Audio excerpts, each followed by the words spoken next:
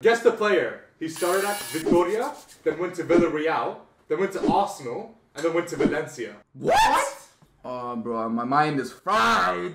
Uh, Moreno? Moreno? uh, I thought it was Monreal, but he went back to Villarreal. This is easy. Pablo Mari. Gabriel! What's his last name?